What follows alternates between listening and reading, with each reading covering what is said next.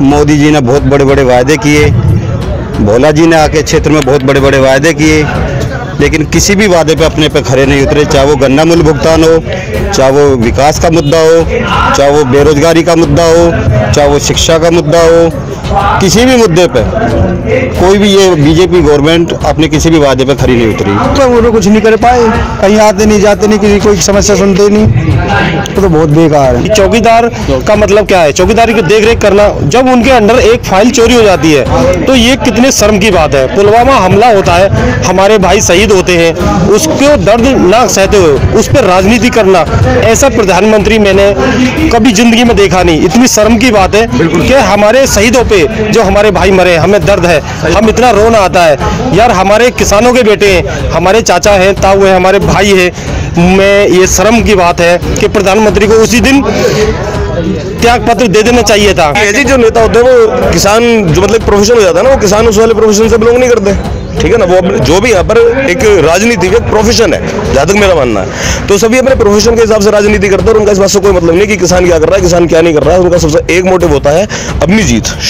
मैं इस वक्त मौजूद हूँ बुलंदशहर के शहरा गाँव में और आज क्योंकि हमारी बात यहाँ पर गठबंधन के प्रत्याशी योगेश वर्मा जी से हुई थी और हमें उनसे इस चुनाव पर एक चर्चा करनी थी, किस तरह का रेस्पॉन्स उन्हें यहाँ पर मिल रहा है और जो लोग हैं, क्योंकि यहाँ जो सीट थी ये बुलंदशहर लोकसभा की, यहाँ से पिछली बार बीजेपी के सांसद चुनकर संसद पहुँचे थे और उन्होंने किस तरह की यहाँ पर अपनी जो सेवा है वो किस तरह की दी है और यहाँ पर क्या लोगों की अपेक्षाएँ हैं? क्या पुराने सांसद उनकी अपेक्षाओं पर खरे उतर पाए हैं? और नए जो सांसद चुनकर आएँगे या जिन्हें वो चुनने जा रहे हैं, वो उनसे क्या उम्मीद रखते हैं? हम बात करेंगे। यहाँ पर कुछ लोग मौजूद हैं और इनसे जानेंगे। मेरा सवाल आपने सुन लिया। अब मैं बस यही पूछना चाहूँगा आपसे कि जो अभी वर्तमान सांसद थे, बीजेपी के सांसद थे भोला भोला भोला नाम था उनका। तो उनसे क्या अपेक्षाएँ थी? क्या अपेक्षा जो थी, वो खरे उतरे हैं उन पर? अभी जो हमारे वर्तमान सांसद हैं, डॉक्टर भोला सिंह, उस समय, जिस समय इनका चुनाव था, मोदी जी ने बहुत बड़े बड़े वायदे किए। भोला जी ने आके क्षेत्र में बहुत बड़े बड़े वायदे किए। लेकिन किसी भी वादे पे अपने पे खड़े नहीं उतरे, चाहे वो गन्ना मूल्य भुगतान हो, चाहे वो विकास का मुद्दा हो, चाहे वो बेरोजगारी का मुद्दा हो चाहे वो शिक्षा का मुद्दा हो किसी भी मुद्दे पे। कोई भी ये बीजेपी गवर्नमेंट अपने किसी भी वादे पे खड़ी नहीं उतरी। किसी भी जितना भी घोषणा पत्र था इनका घोषणा पत्र में कोई भी एक वायदा इन्होंने पूरा नहीं किया। अभी तक जो हम रिपोर्टिंग करते आ रहे हैं हमको भी ये तमाम बातें सामने निकल कर आ रही हैं कि बीजेपी ने तमाम वो वादे किए थे लेकिन कहीं भी कोई वादा उन्होंने पूरा नहीं किया। लेकिन मैं ये जानना चाहूँगा क्योंकि आज हम ग्राउंड रिपोर्टिंग के लिए यहाँ पहुँचे हैं। समस्याएँ क्या हैं? बुलंदशहर की जो समस्याएँ हैं वो क्या हैं? जो मूलभूत समस्याएँ और जिनसे हर आम आदमी को दो चार होना पड़ता है। और ऐसे में जो उम्मीद की जा रही है, जब आगे हम आप वोट देंगे तो उनसे क्या उम्मीद करते हैं? जो आप नए सांसद चुनकर यहाँ लाएँगे, उनसे क्या उम्मीद करेंगे? अभी हम यहाँ बीबी नगर क्षेत्र में खड़े होकर बात कर रहे हैं। हमारे बीबी नगर क्षेत्र की सबसे बड़ी मेन समस्या है शिक्षा की। उस शिक्षा के लिए हमारी जो बहन बेटियाँ वो काफ़ी दूर जाना पड़ता है। हमारे नज़दीक में एक बीबी नगर में डिग्री कॉलेज बना हुआ है, जो हमारी पुरानी स्टेट गवर्नमेंट माननीय मुलायम सिंह यादव मुख्यमंत्री जी थे। उनके टाइम में ये डिग्री कॉलेज हमारा बना। लेकिन इसमें उस अभी ये जो स्नातक के टाइम स्नातक है अब वो नहीं है अभी। मतलब मतलब शिक्षा स्तर पर काम नहीं हुआ। काम आप काम बताइए भी नहीं हुआ और अभी फ़िलहाल में इसमें एम ए चालू नहीं बीए तक है अभी ये। अच्छा, और भी मतलब- है अपने रास्ता है रास्ते के चक्कर में हमारा कोई भी एक भी काम नहीं हुआ। प्रोफेशनल कोर्सेज नहीं है। जी। आप बताइए आपको क्या लगता है कि जो पिछले बार जो सांसद आपने चुना था उससे क्या उम्मीदें थी? क्या उम्मीद अपेक्षाएँ तो थी उससे बहुत ही पर कुछ नहीं कर पाए। कहीं आते नहीं जाते नहीं किसी कोई समस्या सुनते नहीं। वो तो बहुत बेकार है। अच्छा अब ये जो चुनाव है आप बताइए आप यूथ हैं ये जो चुनाव है ये क्या मुद्दों का चुनाव होना चाहिए या फिर किसी केवल पर्टिकुलर नाम पर चुनाव होना चाहिए? ये मुद्दों का चुनाव होना चाहिए लेकिन जो माहौल बनाया जा रहा है वो तो नाम का बनाया जा रहा है? ऐसा कुछ नहीं है। गठबंधन जीतेगा हंड्रेड परसेंट। तो क्या अ, मतलब उम्मीद है आपको अपने जो सांसद आप चुनने जा रहे हैं? सांसद जीतेंगे हंड्रेड परसेंट।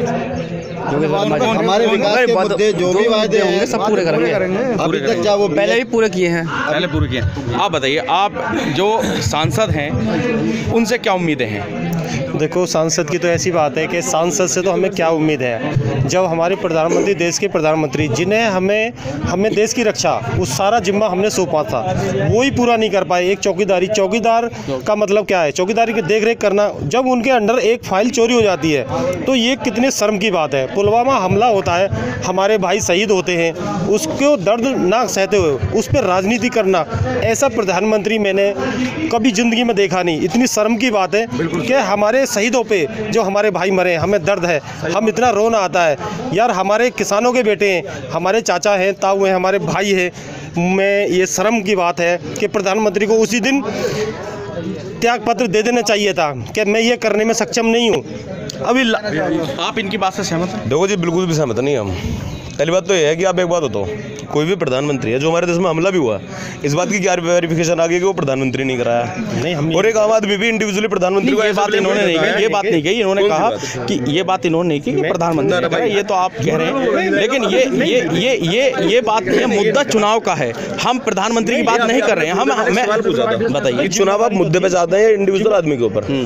पहली बात तो कि मुद्दे सभी के पास होते हैं। ठीक है हर आदमी जब चुनाव या चुनावी प्रक्रिया के दौरान निकलता है तो सबके पास जनून मुद्दे होते हैं उस सवाल का मैं आपको जवाब दूँ जब हम यहाँ बात कर रहे थे कुछ लोगों से तो कुछ लोगों ने कहा कि हमें ये नहीं पता कि यहाँ कौन सांसद खड़ा हो रहा है या कौन नहीं खड़ा हो रहा है। हमें केवल चेहरा जो है हमें जो नाम है वो बस मोदी का पता है। तो हमने ये जानने की कोशिश की कि जो चुनाव है वो असल मुद्दों पर है। क्या वाकई हर किसी का ये कहना है कि यहाँ पर सभी काम ठीक से चल रहे हैं? हमें जो सांसद है हमें उससे कोई मतलब नहीं है उसके नाम से मतलब नहीं है वो क्या कराएगा क्या नहीं ये मतलब नहीं मेरा सवाल केवल ये था। अब मैं आपसे जानना चाहूँगा कि जो आप सांसद चुन के जाएँगे कि सांसद आपके क्षेत्र में वो सभी काम सही तरीके से हो रहे हैं जिनकी आप अपेक्षा करते थे? नहीं जी सांसद के बिल्कुल भी ऐसे काम नहीं हो रहे जिनकी अपेक्षा करी जाती थी बल्कि सांसद में तो अभी तक आगे भी नहीं देखा है नहीं नहीं नहीं बिल्कुल। किन चीज़ों की आप यहाँ पर मांग करते हैं किन चीज़ों पर? अभी अभी जो भरोसा जताएँगे जिस सांसद को मतलब अपने जिता कर लाएँगे या जिसको वोट देंगे उससे क्या मांग मतलब अपेक्षा करते हैं? अपेक्षा ही करी जाती है जी। हमारा जो ग्राम समाज है वो विकसित होना चाहिए। यहाँ पर पानी शिक्षा या स्वास्थ्य बिजली आपूर्ति इन सब चीज़ों की अच्छी व्यवस्थाएँ होनी चाहिए और थोड़ा भ्रष्टाचार कम होना चाहिए। दबंगाई गुंडागर्दी कम होनी चाहिए। माहौल में एक व्यवस्थाएँ आनी चाहिए। तो यही सब आदमी अपनी सरकार से उम्मीद रख सकता है। किसान को उसकी फ़सल के अच्छा भाव मिल जाए। हम तो किसान आदमी है जी उसी में बोल सकते हैं। क्योंकि ज़्यादातर जो एरिया हमने देखा यहाँ बुलंदशहर के किसान मतलब किसान जो है वो ज़्यादा यहाँ हमें दिखाई दिया और जो खेती है उससे लगाव भी बहुत ज़्यादा दिखाई दिया। लेकिन ऐसे में किसान क्या वाकई अपेक्षित कर दिया गया है? इन सब चीज़ों से? नहीं ऐसा किसी इंडिविजुअल आदमी को नहीं लेकर कहा जा सकता है लेकिन किसान पहले से अपेक्षित रहा सरकार कोई सी भी सही। पहले से ही अपेक्षित तो वजह क्या रही? मतलब क्या वजह रही?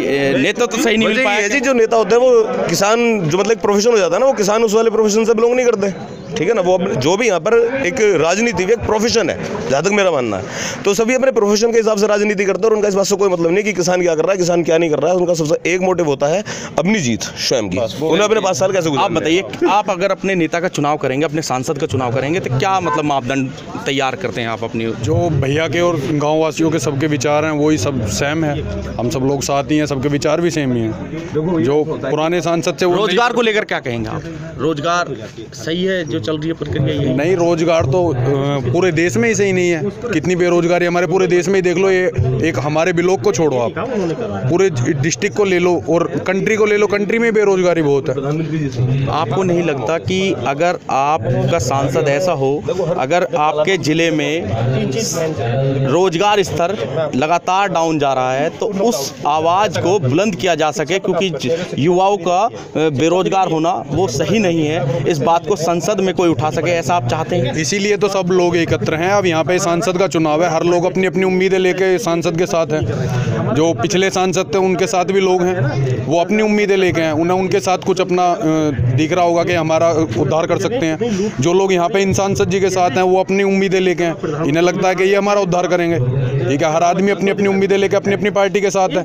ये तो राजनीति है। कुछ लोग इधर हैं कुछ इधर हैं। हम लोग इनके साथ भी हैं। इस चुनाव में क्या देखते हैं आपके इस चुनाव में क्या मेन मुद्दे होने चाहिए? मतलब क्या मुद्दे हैं जो आपके या मैन मुद्दा यही है हमारे यहाँ से कोई भी सांसद बन जाए हमारे इस क्षेत्र को पूरे बीबी नगर ब्लॉक को तो भूल ही जाता। है भूल ही जाता। है जो हमारे पिछले सांसद जी थे भोला सिंह जी वो चुनाव के बाद चुनाव में ही वोटें मांगने आए।